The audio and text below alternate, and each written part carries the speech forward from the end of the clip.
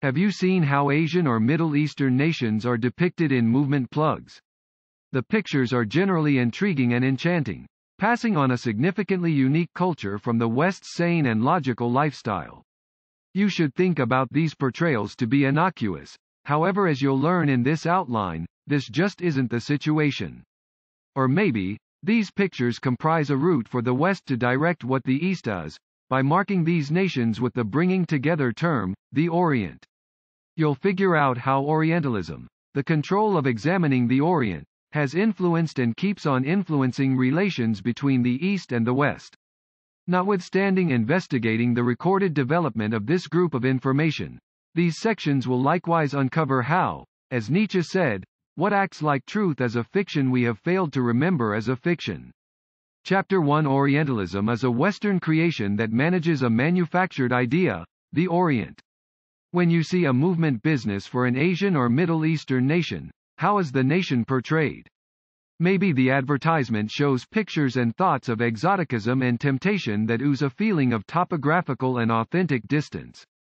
Despite there being an obsolete feel to such pictures, they keep on being typical today, and these portrayals can be connected to a collection of Western information called Orientalism. Orientalism built a particular picture of the East, referred to as the Orient, as a way to move toward it. Present-day Orientalism was imagined during Napoleon's endeavor to and attack Egypt in 1798. Notwithstanding his military, Napoleon had brought along regular citizen researchers, researchers, and specialists who might deliver a 23-volume reference book on the nation, entitled Description of Egypt. This group of scientists was answerable for characterizing Orientalism, and the specialists on the East were known as Orientalists. This idea was fleshed out by other pilgrim powers, most prominently Britain during the 19th century, and was the focal point through which the West saw the whole Orient, which was considered to incorporate the Middle East, Asia, and the Far East.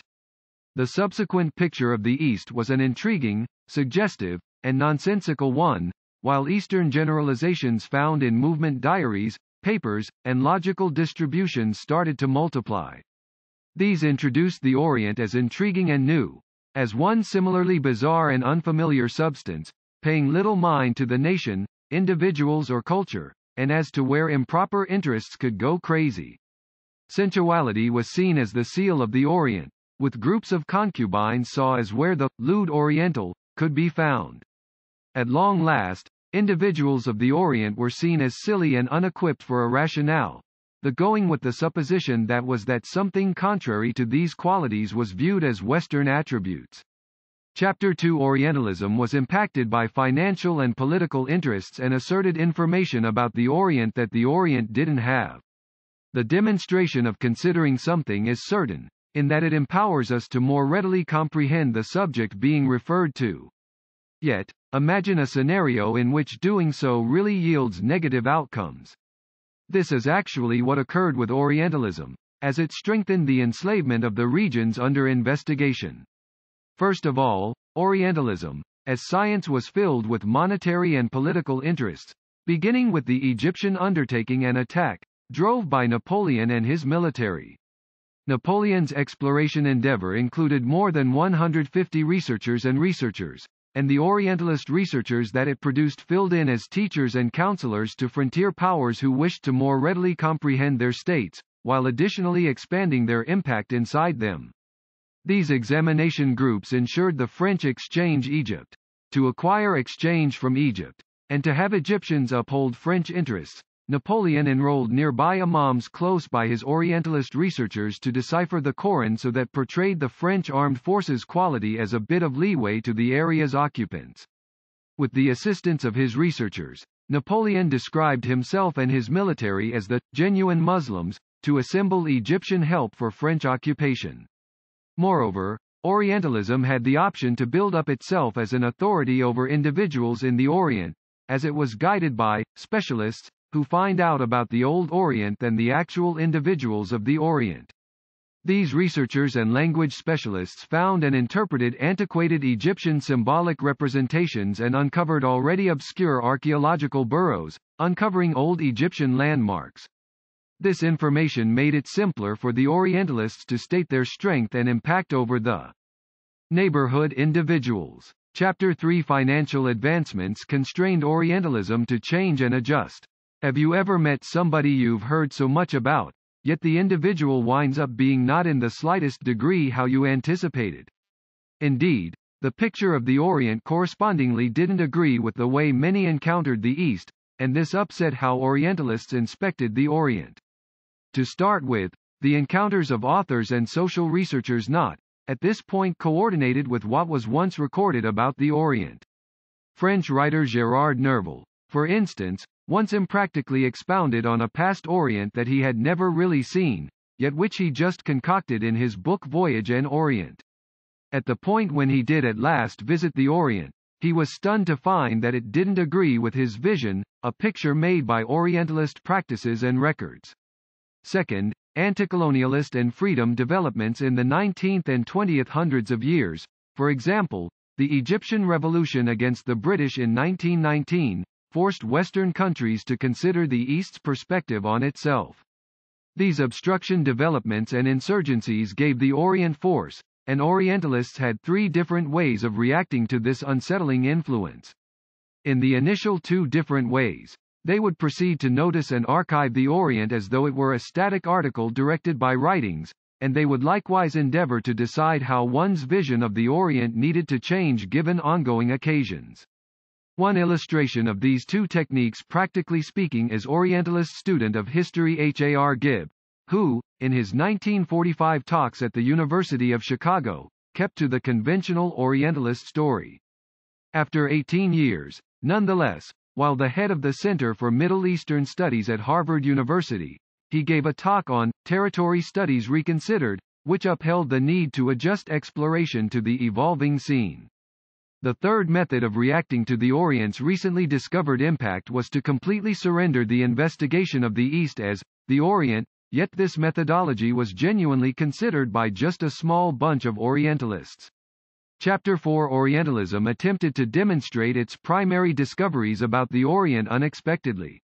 After the obstruction and progressive developments in the East, the West discovered it progressively hard to spread its purported revelations. Orientalism reacted to this pattern in a couple of various ways. One methodology was to extend. To make up for their control's absence of discoveries, Orientalists pushed back the lines of the puts under investigation, while likewise becoming familiar with individuals there. 18th-century Orientalism, as polished in British and French provinces, was first based on Islamic regions in Egypt and the Middle East. In the 19th century, it started including different domains, for example, India, China, and South America. Exchange advancement, travel compositions, logical detailing, and idealistic symbolism that exoticized these regions all aided the development of the topographical extent of the Orient. Another reaction was to go into an exchange with the Orient with the point of forming it. One illustration of this was a scholastic exploration in similar controls. For instance, George Sale's 1734 interpretation of the Koran and going with editorial was one of the principal analyses on the Orient that managed its subject by communicating with Arabic researchers. Instead of simply expressing what the Orient was, Sale was the first to banter with those living there and introduce their perspectives and records concerning the content. This undeniably more liberal mentality expanded correspondence between the West and the Orient. Nonetheless, even though there was discourse, it wasn't equivalent. While this discourse permitted researchers to report what individuals from the Orient needed to say, the subsequent discoveries were as yet utilized as a way to propel Orientalist points of Western expansionism and financial presence. For instance, the West-East exchange implied that chairmen and functionaries from nearby populaces could help spread European thoughts. This occurred as ahead of schedule as the late 18th century with Napoleon's enrolling of muftis and imams, who, with the assistance of the Koran, supported the honesty of French presence to the Egyptians. Chapter 5 Two individuals, specifically, settled the discoveries of Orientalism as a science through the order. According to numerous Orientalist researchers, the most ideal approach to comprehend the Orient was to arrange its sorts of occupants, and this was finished by contemplating the locale's dialects. Silvestre de Sacy, 1758-1838, was among the first to order the Oriental attitude as per every district's dialects. De Sacy was a language specialist, and joint author of the Asiatic Society, a French scholastic culture zeroed in completely on Asia. De Sacy accepted that intensive examination into the language of a people would offer a more profound comprehension of that culture's mindset. Shockingly, de Sacy was among the primary who needed to comprehend a language to comprehend the psyche utilizing it. Notwithstanding, his methodology overlooked etymological subtleties and varieties inside the Orient and sifted Oriental dialects through his local French. Rather than adjusting, de Sacy used French to epitomize the people groups of the Orient, with French thought about the exemplification of level-headedness and rationale, and Semitic dialects encapsulated as unreasonable and emotive. To de Sacy, the speakers of the dialects and the actual dialects were indeed the very same. Ernest Renan, 1823-1892, proceeded with some of de Sacy's work, however he rather associated language with race. There was a major pressure in Renan's work, which fit well with the principle of Orientalism, while he considered each to be as an improvement of a prior language and identified with others all through mankind's set of experiences, Renan zeroed in his work on how certain races were intrinsically better than others and, explicitly, how Europeans were better than Orientals. While accentuating authentic variety, Renan framed an Oriental sort, revealing that their language delivered them unequipped for advancing to the level of the West. Chapter 6 The very apparatuses utilized by Orientalists to notice the Orient keep them from noticing its subtleties. When visiting an unfamiliar city, do you wind up expecting to maintain a strategic distance from any touristy exercises, and as opposed to needing to do as local people do? The Orientalists of the 19th century did precisely that to assemble more data about the Orient.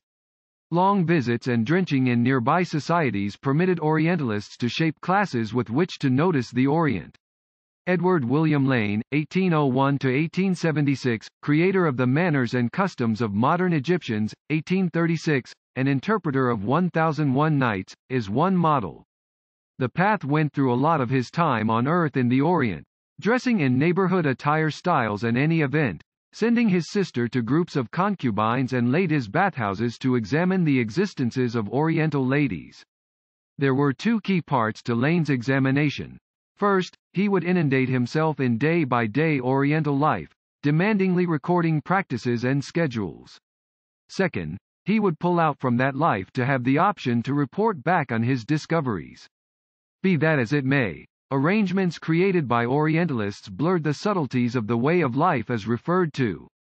Various practices and classifications made by the Orientalists made it especially hard to notice each culture's multifaceted nature. Classes, for example, Oriental, Semitic, Arab, Muslim, Jew, just as classifications of race, attitude, type, and country, while to some degree supportive, would at the same time protuberance varieties and variety inside people, families, and societies under a similar umbrella, in this manner clouding their various contrasts. Exemptions for general classes were viewed as offenses from general patterns and not worth investing a lot of energy in. For instance, Orientals were viewed as genuinely unreasonable and guided by energy, so any Oriental exhibiting clear soundness was essentially seen as a special case. Chapter 7 Expansionism, Opposition Developments, and the First and Second World Wars changed Orientalism. The turn of the 20th century saw the ascent of an inexorably globalized and associated world, and the East started championing itself against European predominance. Anticolonialist opposition developments started to change relations between the Orient and the West. All in all, they caused the West, and explicitly Europe, to scrutinize its financial and political presence in the Orient.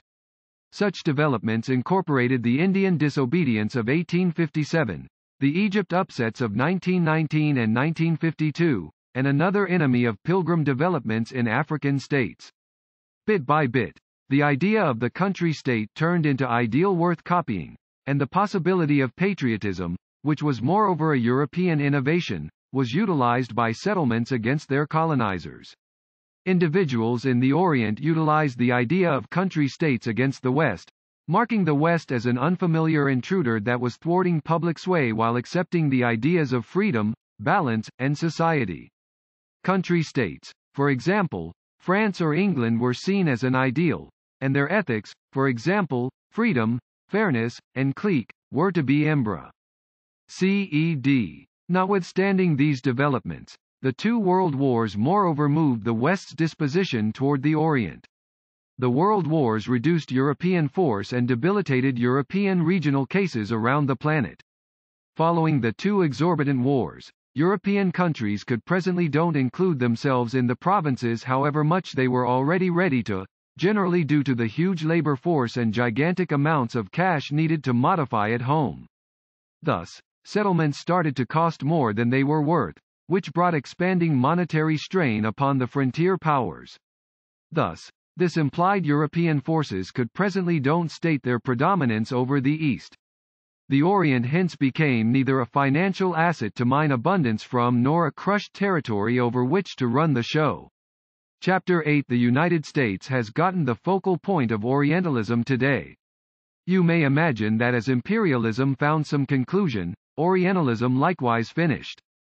Orientalism, notwithstanding, is still a lot alive today, however in another structure situated in the United States, and with three key qualities.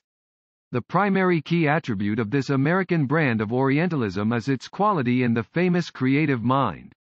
Take the idea of the Middle Easterner, for instance, which originally entered the Western creative mind during the oil emergency of 1973.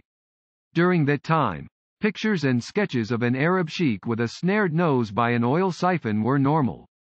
These photos kept on utilizing, Semitic pictures that were found in the enemy of Semitic leaflets all through the 19th and 20th hundreds of years. By portraying the Arab as the odd or crude other, the East was given a role as the lowlife in the famous creative mind, making it simpler for individuals to acknowledge the idea of Arabs being less socialized and giving an interminable defense to American intercession. The subsequent trademark is Orientalism's quality in colleges. Even though there might be no branches of Orientalism in essence, what used to go under that name keeps on being polished in the college framework across different orders, including political theory, humanism, human studies, history, and brain research. Here, generalizations of Eastern countries and individuals, alongside speculations alluding to Muslims, Middle Easterners, or Islamic laws and societies, are utilized, situating them as on a very basic level restricted toward the West and a danger to Western development. The third trademark is Orientalism's part in government strategies. Public strategy gatherings and research organizations uphold current Orientalism. Think about the expansive impact of Samuel P. Huntington's Clash of Civilizations, which is generally utilized as a source of perspective content to examine social contrasts. The thing that matters is outlined by applying the forceful word, conflict, recommending that central, hostile contrasts separate societies from each other. It's essential to take note of that books, for example, Huntington's, just as progressing research subsidized by think tanks, are utilized as a way to design international strategy, the subsequent information at that point turns into the predominant hypothesis behind Western government rehearses. Orientalism by Edward Said Book Summary. Review The thought of Orientalism was created by the West trying to comprehend the East. Be that as it may, the Orient as it was made doesn't address the genuine East. Rather, it is a focal point through which the East was drawn closer, contemplated, and classified by the West through its creative mind. Tuning in for words and looking for symbolism develops understanding. The following time you see a news report on the Middle East or the Palestinian-Israeli clash, notice the manners by which the different sides are depicted, especially the descriptors and pictures utilized. The most ideal approach to comprehend the subtleties of contention is to see the words related to the two sides. Notice Western promoting of Eastern objections. The following time you see a movement promotion for an excursion in the Middle East, for example, in Dubai, Notice how the area is exoticized. You'll probably discover that the East gives off an impression of being an ageless spot and a hotel for the Western traveler to visit and find the region's fortunes.